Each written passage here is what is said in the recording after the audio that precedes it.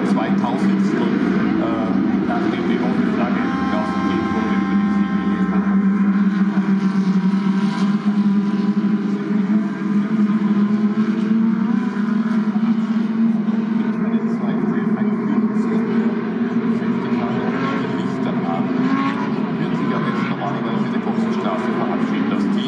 Ja, das äh, Feld formiert sich und äh, René Rast übernimmt in diesem Augenblick das Kommando und wo der Meinung ist, dass das Feld in ordentlicher Formation reinrollt, in dem Moment wird die Ampel auf Null geschaltet. Und dann geht's los. Saisonfinale, Hockenheim 2022 und Sherman Franz sehr viel auf. Schild und auf der linken Seite. Ist einer ganz weit am Gras und das ist Marco Wittmann mit dem BMW schon vorbei, an René Rast vorbei.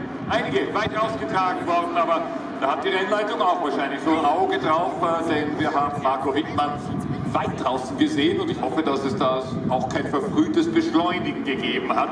Auch Sheldon van der Linde ist relativ rasch ausgeschert aus der Standformation, um auch wahrscheinlich die Ampel ordentlich zu sehen. Wir haben es ja von Lamborghini-Piloten gehört, dass äh, es ein Riesenproblem ist, die Ampel zu sehen, wenn äh, du so tief im Auto drin sitzt. Zu dritt nebeneinander durch die Parabolika, links innen der BMW von äh, Philipp Eng und daneben fächern sie auf zu dritt, zu viert nebeneinander der Anflug auf die Spitzkehre, auf die Haarnadel. Röne Rast hat also die Führung nach dem Start sofort verloren. Wittmann, BMW, Rast und dahinter mit der Startnummer 85 Clemens Schmidt im ersten Lamborghini, während im hinteren Feld schon gekeilert wird. Natürlich haben die, oh, wir haben den ersten Reifenschaden. Engelhardt im SSR Porsche ist betroffen und Lucky Auer ist an seinen Mercedes-Kollegen natürlich vorbeigezogen.